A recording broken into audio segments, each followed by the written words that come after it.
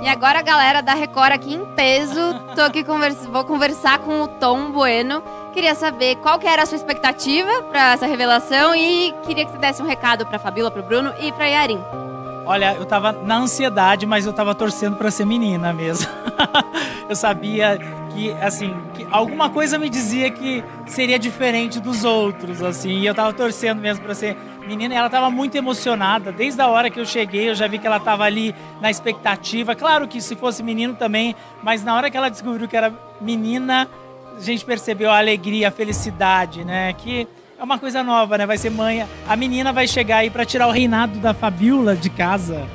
E eu queria então agora que você desse um recado para Fabiola, para o Bruno e para Yarin. Deixar. Obrigado. Bom, deixar então meu recado para Fá, para o Bruno, para Yarin.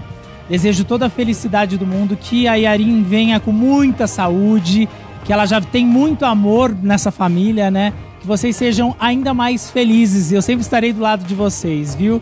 Que a Yarin chegue aí trazendo muita luz e muita saúde para todos vocês. Beijo grande.